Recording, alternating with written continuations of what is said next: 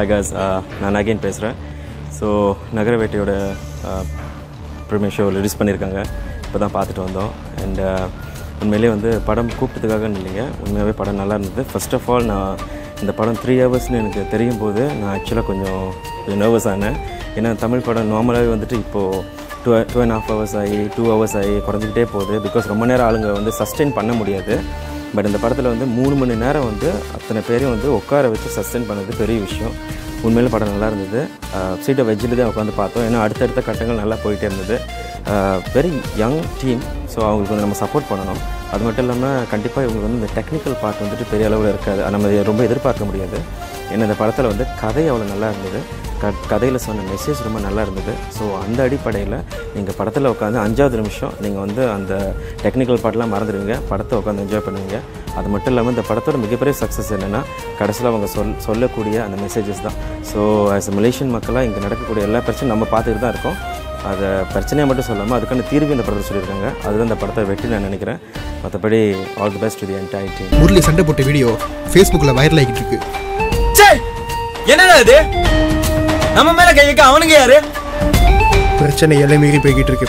பேசாம sorry video பண்ணிடலாம் போயிடும் ஓவரால் கதை வந்து ரொம்ப அருமையான கதை ஸ்டோரி லைன்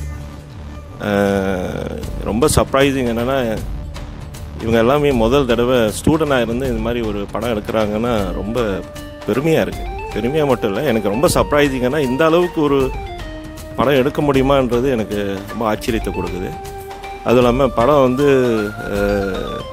ஒரு ஒரு சோஷியல் மீடியா எப்படி வந்து அது வந்து மிஸ்யூஸ் ஆகுது எப்படி வந்து இப்போ உள்ள சமுதாயம் அதாவது பிள்ளைகளை எப்படி ஒரு ஒரு கெட்ட வழியிலையாவோ இல்லை ஒரு நல்ல வழியோ இதில் வந்து மிஸ்யூஸ் பண்ணுறவங்க இது இது ஏறப்பட்டியில் மிஸ்யூஸ் பண்ணுறவங்க இந்த கதையோட ஸ்டோரி லைனாக இருக்குது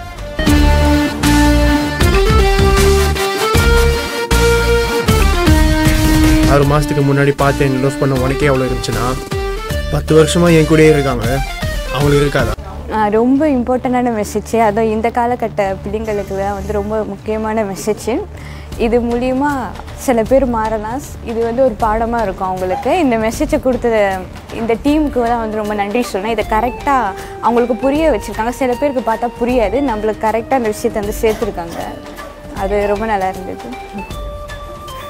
இப்படி பல பேர் பண்ற தப்பால இன்னும் சில பேர் ஒதுங்கி இருக்கும். அது சாபம் இல்லை. நம்ம மக்களோட முட்டாள்தனம். ஒருத்தன் எதையாவது ஒரு விஷயத்தை அப்லோட் பண்ணானா அவன் ஏன் அப்லோட் பண்றான் எதுக்கு அப்லோட் பண்றான்னு கேட்கறதுக்கு தான் அறிவில்லை அவங்களுக்கு. நல்லா எடுத்திருக்காங்க.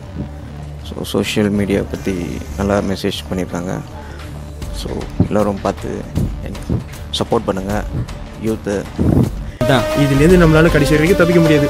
வேற என்ன பண்றது? திரும்ப எல்லாம் துரத்துறாங்க. மாட்டினா சத்தம். படம் பார்க்கும்போதே ஒரு மற்ற படங்களை பார்த்த ஒரு ஃபீலிங் எனக்கு ஏற்பட்டுச்சு. அவர் இதில் ரொம்ப நல்லா நடிச்சிருக்காரு.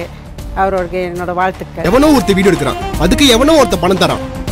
இது ஒரு பெரிய நெட்வொர்க் சோஷியல் மீடியா நான் நல்லா இருந்துச்சு படம். ஓகே. இதில் கடைசி நேரத்தில் அந்த படம் நல்லா இருந்துச்சு. ஓகே. அப்புறம் என்ன ஆக்ஷன் சீன் அந்த ஃபைட்டிங் சீன் நல்லா இருந்துச்சு. அப்புறம் பார்க்க பக்கம் ஆறு ஆர்வமாக இருந்துச்சு படம் பார்க்கும்போது.